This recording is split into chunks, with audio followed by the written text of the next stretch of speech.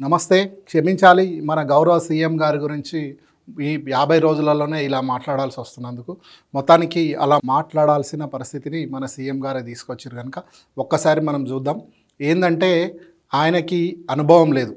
అందుకే అంటారు అనుభవము మంత్రి పదవి అయినా చేసిన వాళ్ళకు ముఖ్యమంత్రి పదవి కావాలని చెప్పి ఇవ్వాలని చెప్పి చాలామంది అంటుంటే నేను గతంలో అనుకునేది అసలు మంత్రి పదవి లేకుండా కూడా ముఖ్యమంత్రి పదవులు చేసి చాలా గొప్ప నాయకులుగా పేరు తెచ్చుకున్న వాళ్ళు చాలామంది ఉన్నారు కదా.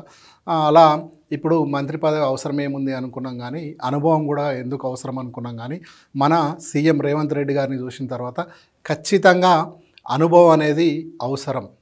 శిక్షణ అనేది ఇంకా మరీ ముఖ్యంగా అవసరం. ఇప్పుడు మనం చూస్తే ఐఏఎస్ ఐపీఎస్ పాస్ అయిన తర్వాత కూడా వాళ్ళకి ఒక శిక్షణ తీసుకుపోయి ఏ విధంగా ప్రవర్తన ఉండాలి? అధికారులు అయిన తర్వాత ఐఏఎస్ ఆఫీసర్లు అయిన తర్వాత ఐపీఎస్ ఆఫీసర్లు అయిన తర్వాత మన ప్రవర్తన ఏ విధంగా ఉండాలి? ప్రజలతో ఎట్లా వ్యవహరించాలి? అదేవిధంగా అధికారులతో ఎట్లా వ్యవహరించాలి? పరిపాలన ఎట్లా చేయాలనేది వాళ్ళకి ట్రైనింగ్ ఇస్తారు.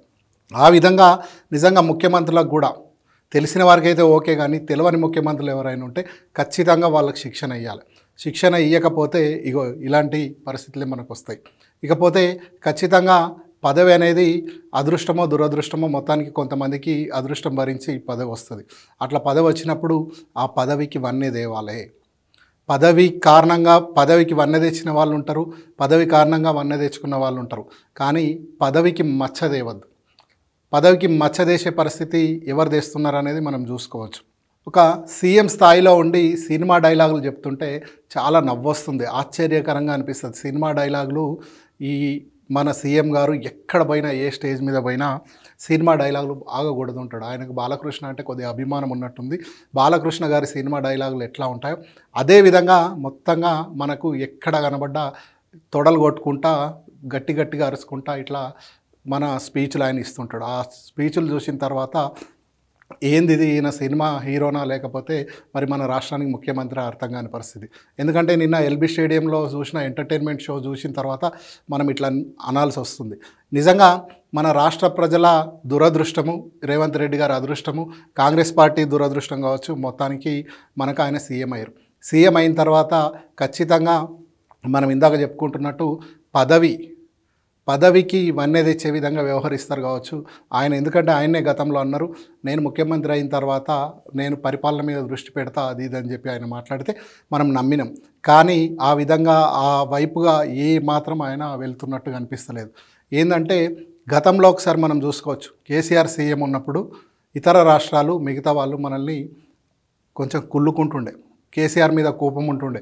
కొద్దిగా అభివృద్ధి చేస్తున్నాడు రాష్ట్రాన్ని మంచిగా తీసుకుపోతున్నాడని ఇతర రాష్ట్రాల ప్రజలు మనల్ని చూసి కుళ్ళుకుంటుండే కేసీఆర్ని చూసి కోపంగా ఫీల్ అవుతుండే. కానీ ఇప్పుడు మనల్ని చూసి మంచిగా అయింది మీకు అన్నట్టుగా చూస్తున్నారు. రేవంత్ రెడ్డి గారి ఎంటర్టైన్మెంట్ చూసి మస్తు నవ్వుకుంటున్నారు. ఇప్పుడు తెలంగాణ పరిస్థితి అట్లా అయిపోయింది? ఒక్క శాతం మనుషుల కోసం ఒక్క శాతం మనుషులు ఉంటారు. ఇప్పుడు రేవంత్ రెడ్డి గారు మాట్లాడుతుంటే జనరంజకంగా ఆయన చెప్పే డైలాగులకు ఊగిపోయే వాళ్ళు ఒక్క శాతం మనుషులు ఉంటారు. అట్లా ఒక్క శాతం మనుషుల కోసం ఆయన మొత్తం రాష్ట్రానికి సంబంధించి ఇట్లా పిచ్చి మాటలు మాట్లాడితే ఏం చేయాల్సిన పరిస్థితి? నిజంగా ఈ రాష్ట్రంలో ఇప్పుడు ఆయన టీపీసీసీ ప్రెసిడెంట్గా ఉన్నప్పుడు వాళ్ళ పార్టీకి సంబంధించి ఇష్టం వచ్చినట్టుగా ఏమైనా మాట్లాడుకోవచ్చు. కానీ ఇవాళ ఆయన ఈ రాష్ట్రానికి ముఖ్యమంత్రి. అంటే ఓటు వేసిన వాళ్ళకి ముఖ్యమంత్రి ఓటు వేయని వాళ్ళకి ఆయనే ముఖ్యమంత్రి. కనుక ఈ రాష్ట్ర ప్రతినిధిగా ఉన్నప్పుడు ఆయన చాలా బాధ్యతగా వ్యవహరించాల్సి ఉంటుంది. ఖచ్చితంగా మన మనం ఇతర రాష్ట్రాలకు వెళ్ళినప్పుడు వేరే దేశానికి వెళ్ళినప్పుడు కూడా మనల్ని పలకరించేటప్పుడు మీ సీఎం ఈయన కదా మీ సీఎం ఆయన కదా అని చెప్పి ఖచ్చితంగా మాట్లాడుతుంటారు. సో మీరు ఏ విధంగానైతే ఇతర రాష్ట్రాలలో మీ మీకు సంబంధించిన గుర్తింపు పెట్టుకుంటారో అట్లాగే ఉంటుంది. సో ఇప్పుడు మీరు చేస్తున్నది చూస్తుంటే మంచి ఎంటర్టైన్మెంట్ అయితే ఇస్తున్నారు. మనం దావోస్లో చూసినాం. దావోస్లో గతంలో ఉన్న మంత్రి గారు వెళ్ళినప్పుడు ఓన్లీ పెట్టుబడుల మీదే చర్చ జరిగి పెట్టుబడులు వచ్చేటివి. మన సీఎం గారు వెళ్ళినప్పుడు మాత్రం మనకు మంచి ఎంటర్టైన్మెంట్ కూడా ఇచ్చారు. సో దీనివల్ల ఇతర రాష్ట్రాల వాళ్ళు మనల్ని చూసి మస్తు నవ్వుకుంటున్నారు. ఇంకా ఒక విషయం ఏంటంటే నిజానికి ఇంకా ప్రతిపక్షంలోనే ఉన్నట్టుగా రేవంత్ రెడ్డి గారు భావిస్తున్నట్టున్నారు. ఎందుకంటే అధికారంలోకి వస్తారని ఆయన ఎట్లా నమ్మలేదో చాలామంది ప్రజలు కూడా అట్లనే నమ్మలేదు. నిజంగా ఆయన నేను నమ్మలేని పరిస్థితులు ఉన్నారు. అందుకే అంటున్నాం మనం హవ్వ మీరు సీఎం సార్ ఎవరైనా గుర్తు చేయండి ఆయనకి అని కిక్ సినిమాలో ఒక డైలాగ్ ఉంటుంది. నువ్వు డాక్టరు రా బాబు నువ్వు డాక్టరు రా అని గుర్తు చేస్తుంటారు. అట్లా ఈయన సీఎం అని చెప్పి మనం గుర్తు చేయాల్సిన పరిస్థితి వస్తుంది. ఎందుకంటే ఆయన గజనీ కావచ్చు. నిజంగా మన సీఎం గారు గజనీ అనిపిస్తుంది. ఆయన ఏం మాట్లాడినా ఆయనకు ఇరవై నాలుగు గంటలు మాత్రమే గుర్తుంటుందేమో. మనకు డిసెంబర్ తొమ్మిదిన రైతు రుణమాఫీ కానీ రైతు బంధు కానీ ఇంకా చాలా అంశాలకు సంబంధించినవి ఆయన ఒక్క రోజులో మర్చిపోతుంటాడు. అందుకే ఆయన గజనీ కూడా అయ్యిండో ఏమో అనిపిస్తుంది. ఇప్పటికీ ఇంకొక అంశం అంటే ఆయన సీఎం అన్న విషయం రాష్ట్ర ప్రజలు ఇక జీర్ణించుకోవడానికి చాలా కష్టమవుతుంది అదేవిధంగా ఆయన కూడా నమ్ముతలేనట్టున్నాడు. మొత్తంగా మనకు నిన్న మాజీ మంత్రి కేటీఆర్ చెప్పినట్టుగా బీఆర్ఎస్ఏ ఇంకా అధికారంలో ఉన్నట్లు ఆయన భావిస్తున్నాడు. నిజానికి ప్రతిపక్ష పార్టీల నుంచి ఈ దాడి ఉంటుంది. ప్ర అధికార పక్షానికి. కానీ ఈయననే మొత్తంగా ప్రతిపక్షంగా ఉన్నట్టుగానే గతంలో టీపీసీసీ ప్రెసిడెంట్గా ఉన్నప్పుడు ఏమేం మాట్లాడిండో అట్లాగే సీఎం అయిన తర్వాత కూడా మాట్లాడుతున్నాడు. దానివల్ల బాధ అనిపిస్తుంది. ఎందుకంటే అప్పుడు కాంగ్రెస్ పార్టీని జనరంజ వాళ్ళ పార్టీలో ఉన్న కార్యకర్తలను రంజింపజేయడానికి ఆయన మాట్లాడుతుండంటే అర్థం చేసుకోవచ్చు. కానీ ఇప్పుడు సీఎంగా ప్రతి ఒక్కరూ ఆయన హుందాతనాన్ని ఆయన బిహేవియర్ని ఆయన ఏం మాట్లాడుతుండ అనేది ఖచ్చితంగా చూస్తారు. ఒక్క కేసీఆర్ కుటుంబాన్ని తిట్టి మనగడ ఉంటుంది అనుకొని భావిస్తే అది ఖచ్చితంగా అది తప్పే అవుతుంది కొద్ది రోజులు చూస్తారు. కొద్ది రోజులు ప్రజలు చూస్తారు. సరే కొంతమంది కే కేసీఆర్ కుటుంబం నచ్చని వాళ్ళకు ఇవన్నీ చాలా బాగా అనిపిస్తుంది. కొద్ది రోజులు చూస్తారు అది ఒక్క శాతం రెండు శాతం మంది ఉంటారు. కానీ మీరు పరిపాలన చేయాలి. ఇంతకుముందు అంటే పరిపాలన చేయలేని పరిస్థితి కనుక అప్పుడు మీరు ఏదైనా విమర్శలు చేస్తే కొంతమందికి మంచిగా అనిపించింది. కానీ ఇప్పుడు కేసీఆర్ కుటుంబాన్ని తిట్టి పరిపాలన చేయకుండా ఇట్లాగే గడిపేస్తా అంటే ప్రజలు ఊరుకునే పరిస్థితి ఉండదు. ఇంకొక అంశం ఏంటంటే కొంతమంది మన ముఖ్యమంత్రి గారు మాట్లాడిన మాటలను బట్టి కేసీఆర్తో పోలుస్తున్నారు ఇది చాలా దారుణమైన వాదన.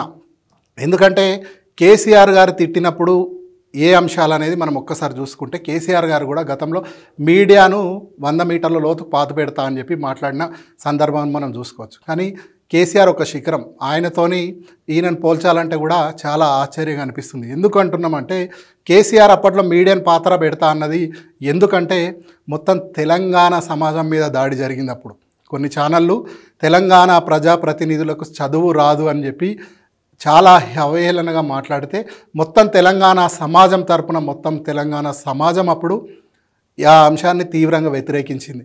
అట్లా ఆ సమాజం మొత్తానికి ప్రతినిధిగా కేసీఆర్ ఆ రోజు ఆ మీడియాను పాతి పెడతా అంటే మొత్తం సమాజం నుంచి అంగీకారం వచ్చింది. అదేవిధంగా తెలంగాణ ఉద్యమ సమయంలోనే కేసీఆర్ కొంతమందిని ఏదైనా విమర్శలు చేసాడు. ఆ విమర్శలకు మొత్తానికి తెలంగాణ సమాజం ఆమోదం ఉంది. ఎందుకంటే ఆ సందర్భంలో అలాంటి ఆ ఉద్యమానికి అవి అవసరమైనవి అంతే తప్ప చాలా రాజనీతిజ్ఞత ఉన్న వ్యక్తి కేసీఆర్. ఆయన ఏ విధంగా అయితే పరిపాలన చేసిండో మనం చూసుకోవచ్చు. ముఖ్యమంత్రిగా తెలుగు మహాసభలు జరిగితే ఏ విధంగా తెలుగు మాట్లాడిండు అదేవిధంగా అంతర్జాతీయ వేదికలో అంతర్జాతీయంగా ప్రతినిధులు వచ్చినప్పుడు ఏ విధంగా మాట్లాడేది ఒక సాధారణమైన వ్యక్తులతోని మాట్లాడినప్పుడు ఏ విధంగా ఉండేది ఇట్లా ఏ పాత్ర అవసరమైనప్పుడు ఆ పాత్రలోకి లీనమైపోయి కేసీఆర్ ఇలా తెలంగాణను తీసుకొస్తే ఆయనను తిట్టుకుంటేనే మనము కాలం గడిపేద్దాం ఆయనను తిడితేనే మనం గెలిచినాం అనుకొని ఒక భ్రమలలో ఉంటే దానికి ఇంకా ఎవరేం చేయలేరు. ఇక మన సీఎం గారు పరిపాలన అంటే ఒక సినిమాలో హీరోలాగా డైలాగులు చెప్పినట్టు ఉంటుంది అనుకుంటున్నాడేమో. మొత్తం ఎంటర్టైన్మెంటే ఇస్తే సరిపోదు మన సీఎం గారికి తెలవాల్సింది ఏంటంటే ఖచ్చితంగా పరిపాలన అంటే స్కిల్ కూడా ఉండాలి. ఆ స్కిల్ ఉన్నప్పుడే ఈ రాష్ట్రం బాగుపడుతుంది మనకి ఇంత పేరు వస్తుంది కానీ ఇదే ఎంటర్టైన్మెంట్ అంటే అది బోర్ వస్తుంది. మొత్తం సినిమాలో ఎంటర్టైన్మెంటే ఉంటుంది అంటే బోర్ వస్తుంది. సినిమాలో అన్ని అంశాలు ఉండాలి. అట్లాగే మీ పరిపాలనలో అన్ని అంశాలు ఉంటే అది బాగుంటుంది. మీకు ఈ డైలాగులు పేల్చడానికి ఇలాంటిది మీకు అలవాటు ఉంటే మీ అభిమానులతోని సమావేశాలు పెట్టుకొని ఆ డైలాగులు పెట్టండి. కానీ ఇట్లా బహిరంగ సమావేశాలల్లా ఇలాంటివి మాట్లాడితే మీకే పేరు పోయే అవకాశం ఉంటుంది. అది తెలంగాణ రాష్ట్రానికి కూడా పరువు పోయే విధంగా ఉంటుంది. ఇక ఇంకొక బాధాకరమైన అంశం ఏంటంటే కేసీఆర్ను చార్లెస్ శోభరాజ్ అంటూ పోలుస్తారా? ఇదే సంస్కృత. ఇదొక సంస్కృత. ఎందుకు మనం ఈ విషయాన్ని గుర్తు చేస్తున్నామంటే ఇదే రాహుల్ గాంధీని బీజేపీ ఎంపీ అప్పట్లో లోక్సభలోనో మొత్తంగా పార్లమెంట్లో తప్పుగా మాట్లాడితే పార్టీలతో సంబంధం లేకుండా కాంగ్రెస్ పార్టీతోనే అప్పటికీ కేసీఆర్ ఇక్కడ ఈ పోటీ ఉన్నప్పటికీ ఖండించింది కేసీఆర్. అంత దుర్మార్గంగా ఎట్లా మాట్లాడతారని చెప్పి కేసీఆర్ ఖండించాడు. అది కేసీఆర్కున్న అది. కానీ మీరేం మాట్లాడుతున్నారు? ఇలా కాంగ్రెస్ దీన పరిస్థితి చూస్తే బాధ అనిపిస్తుంది ఒకప్పుడు గొప్ప గొప్ప నాయకులు ఉన్న పార్టీ కాంగ్రెస్ ఎస్ ఈ దేశానికి గొప్ప నాయకులుగా చెప్పుకోబడుతున్న వాళ్ళంతా కాంగ్రెస్ నుంచి వచ్చిన వాళ్ళే. వాళ్ళందరూ ఉన్న కాంగ్రెస్ పార్టీలో ఇలా ఎంత దిగజారిపోయిందంటే కాంగ్రెస్ పార్టీ మనం అనకూడదు కానీ నిజంగా సీఎం పదవి లాంటి పదవికి మరి ఇప్పుడున్న నాయకుడిని వాళ్ళు ఎన్నుకున్నారంటే కాంగ్రెస్ పార్టీ ఏ స్థాయికి దిగజారిపోయింది అనేది మనం అనుకోవచ్చు. ఇవాళ మీరు పండబెట్టి దొక్కుతా పానం తీస్తా అని అంటే నిజంగా ఈ కాంగ్రెస్ నాయకులే ఖండించాల్సిన అవసరం ఉంది. ఎందుకంటే తెలంగాణ తెచ్చిన కేసీఆర్ను పండబెట్టి తొక్కుడు పానం తీసుడు అనేది సాధ్యం కాని మాట. ఇప్పుడు రేవంత్ రెడ్డి గారు ఉన్నారు. ఏ రోజైనా కాంగ్రెస్ అధిష్టానానికి కోపం వస్తే ఆయన పదవి నుండి పీకేస్తారు. పీకేసిన తర్వాత ఆయన మనకు ఓ రెండు సంవత్సరాలు అయితే కనబడతాడో కనబడాడో ఎందుకంటే కాంగ్రెస్లో చాలామంది సీఎంల పేర్లు ఎవరికి తెలియదు కానీ కేసీఆర్ మీరు పండబెట్టి తొక్కినా ప్రాణం తీసినా ఏం చేసినా తెలంగాణ చరిత్ర ఉన్నంత వరకు తెలంగాణ ఉన్నంత వరకు కేసీఆర్ ఉంటాడు. ఎందుకంటే తెలంగాణ సాధన తెలంగాణను తీసుకొచ్చింది కేసీఆర్. అది నిర్వివాదాంశము. మీరు కూడా చాలా సందర్భాలలో కేసీఆర్ పాత్ర గురించి మాట్లాడారు. మరి ఇక కేసీఆర్ను చంపేసి ప్రాణం పొందబెట్టే పరిస్థితి ఉంటుందా? అంటే మీ మీద యూట్యూబ్ ఛానల్ ఎఫెక్ట్ చాలా ఉన్నట్టుంది. కొంతమంది ఇటీవల యూట్యూబ్ ఛానల్ ఏర్పాటు చేసుకొని సీఎంను తిట్టడం సీఎంను తిడితేనే ఫేమస్ అయిపోతాం అనుకుంటే మీరు ఆ ఛానల్ ఎక్కువ చూసినట్టున్నారు. సీఎం అయిన తర్వాత కూడా మీరు అదే మాటలు పట్టుకుంటున్నట్టున్నారు. ఇది చూసి మొత్తం తెలంగాణ సమాజం అసహించుకుంటుంది. రేవంత్ రెడ్డి గారు ఖచ్చితంగా మీరు దీన్ని అర్థం చేసుకోవాలి. నిజంగా మీ వల్ల ఈ కాంగ్రెస్ పార్టీ గెలిచిందో లేదో నాకైతే తెలియదు కానీ మీరు ఇట్లనే మాట్లాడితే ఖచ్చితంగా ఒక ఆరు నెలల పాటు మీరు ఇట్లనే మాట్లాడితే ఇక మీ కాంగ్రెస్ పార్టీ గుండు సున్నా అవడం ఖాయం. బీఆర్ఎస్ గెలిచేందుకు చేయాల్సింది ఏం లేదు. కొన్ని రోజుల పాటు రేవంత్ రెడ్డి గారు ఇట్లా వదిలేస్తే బీఆర్ఎస్ హాయిగా గెలిచిపోతుంది అనిపిస్తుంది. ఇకనైనా ఖచ్చితంగా మన రేవంత్ రెడ్డి గారు పద్ధతి మార్చుకోవాలి. ఆయన సీఎం అన్న విషయాన్ని గుర్తు చేసుకోవాలి. లేదంటే ఎవరినైనా ఒకరిని ఆయన అపాయింట్ చేసుకోవాలి. ఈ అపాయింట్మెంట్కి మనం ఏం తప్పు పట్టద్దు ఒకరిని పక్కన పెట్టుకొని ఈయన సీఎం మీరు సీఎం అయ్యారు మీరు సీఎం అయ్యారు మీరు సీఎం అయ్యారు అని చెప్పి ఆయనకు గుర్తు చేసే వ్యక్తి ఒక ఆయన పక్కన ఉండాలి. లేకపోతే ఇట్లాగే మాట్లాడతాడు ఇట్లాగే మాట్లాడి మాట్లాడి ఇదే ముఖ్యమంత్రి పదవి అంటే ఇట్లా చేస్తేనే ముఖ్యమంత్రి అవుతారు అనుకుంటారు. ముఖ్యమంత్రి పదవి చేసిన వాళ్ళు గతంలో గొప్ప గొప్ప నాయకులు. వాళ్ళందరికీ ఒక హిస్టరీ ఉంది. పదవి చేపట్టిన తర్వాత అందరూ గొప్ప పేరు తెచ్చుకున్నారు. కానీ మొదటిసారి నిజంగా దేశంలో మరి ఇట్లాంటి సీఎం ఉన్నాడో లేదో తెలియదు కానీ మన తెలంగాణ తెలుగు రాష్ట్రాలలో మాత్రం మొదటిసారి ఇలాంటి సీఎంను చూస్తున్నాం.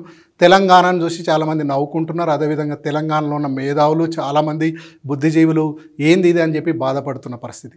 కనుక రేవంత్ రెడ్డి గారు ఇప్పటికీ సమయం మించిపోలేదు. దయచేసి రాజకీయ వేదికలు అయినప్పటికీ ఆ విమర్శలు అనేటివి ఏ విధంగా చేయాలి ఏందనేది కొంచెం ట్రైనింగ్ తీసుకోండి. అందుకే అనేది ఖచ్చితంగా మీకు శిక్షణ అవసరం ఉంది. ముఖ్యమంత్రి పదవికి కనీసం ఒక పదిహేను రోజుల పాటు మీరు ఎక్కడికన్నా మర్రి చ- చెన్నారెడ్డి మానవ వనరుల అభివృద్ధి సంస్థ ఏదైతే ఉందో అక్కడ ట్రైనింగ్ ఇస్తారు గవర్నమెంట్ ఉద్యోగులకు.